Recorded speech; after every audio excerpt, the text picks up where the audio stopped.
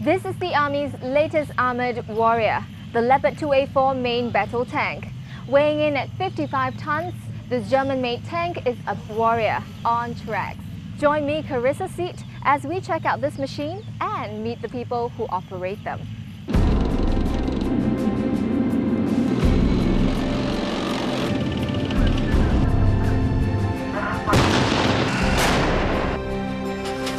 On the way.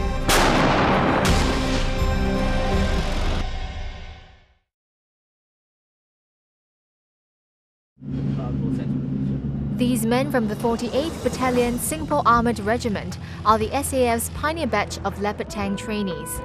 They began their training in August 2008, fresh out of basic military training. They were trained to be proficient in their individual roles as tank gunners, loaders, and drivers. Tank crews also underwent gunnery simulation training at the Turret Crew Trainer, a life-sized simulator of the Leopard's turret. What's really interesting about this simulator is its open concept, giving the trainer a bird's eye view of what the trainees are doing. Gun, it up. FS, tank, on, fire. On the way. Up to eight tank crewmen can be trained at any one time. The open concept of the simulator means that they're plugged into what's going on around them, so they're mindful not to repeat mistakes made by their peers. They'll be training in this um, environment which is safe and it's very realistic uh, because each of them will have the, their own roles to play and uh, they're able to interact with each other, know what to do when uh, what happens. So this in terms prepare them as a crew for the real thing on the tank itself. The SAF took delivery of the first Leopard 2A4 tanks in June 2008. The refurbished tanks will gradually replace the Army's SM-1 tanks. Young and quick on the uptick, the tank crews were ready to put their newly acquired skills to the test by September 2008. They conducted their first live firing at the Sungai Gedong training area, both in the day and in the cover of night.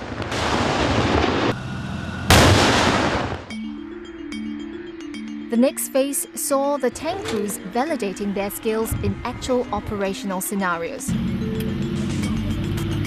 This is Shoalwater Bay Training Area in Queensland, Australia, an area about three times the size of Singapore. The vast space enabled the tank crews to carry out higher level drills and maneuvers involving up to four tanks. Uh, our primary purpose of, uh, of participating in Exercise Wallaby is actually to um, conduct uh, tactical training from uh, crew to um, dual tank and up to uh, platoon competencies in both uh, maneuver as well as live firing. We can only do up to a single tank battle course in Singapore. But here in Wallaby, we actually have so much of space. Uh, we can have all four tanks maneuvering at the same time. This allows uh, the drivers and the commanders to practice all the different formations that would not be possible in Singapore. So this gives them a better feel of um, how the tank is supposed to perform in an actual battle and hence it uh, enhances their operational readiness. Working hand in glove with other SAF units, armoured warriors led the ground assault during an integrated systems live firing exercise in Exercise Wallaby 2008.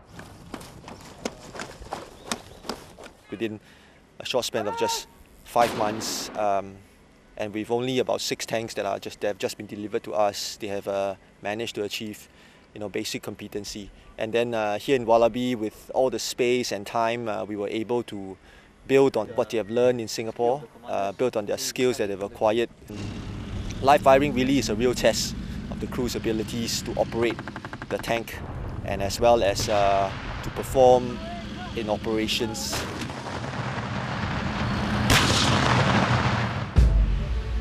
The tank crews had the opportunity to fire the Leopard's range of armaments, a fully stabilized 120mm cannon, two 7.62mm machine guns, and 16 smoke launchers.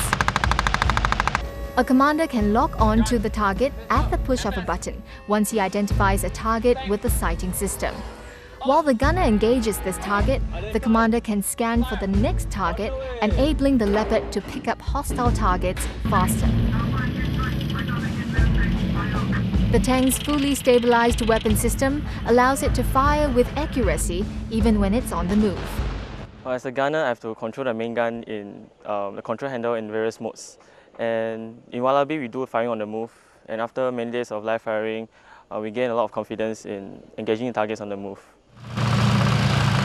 It was challenging as the loader you have to load the round on the move and remedy any problems that may occur with the weapon systems like the MG's, MG has a IA or something like that then you have to remedy on the spot. The Leopard 2A4 tanks are capable of moving at speeds of up to 60 kilometers per hour even in the rugged outback terrain. Yeah, definitely will feel a lot of more confidence in terms of maneuvering at night or in the days at high speed or low speed. Because you get to drive at almost 10 km for each exercise. The mobility and firepower come wrapped in a multi-layered armor. This gives the tank crews and their workhorse better protection from anti-tank weapons. An important upgrade to be introduced soon to the Leopards is the battlefield management system. When fitted, tank crews can exchange information with other SAF units to hunt down and destroy enemy fires. Once Leopard is equipped with a battlefield management system, it becomes Army's larger network of, uh, of sensors and shooters to um, allow the Army to both dominate on the ground through close contact via the Leopard tanks as well as via the air through the attack helicopters. In the meantime, even as tank crews continue to hone their skills, they've begun their training as a company. And the training would culminate in a live firing exercise overseas real soon.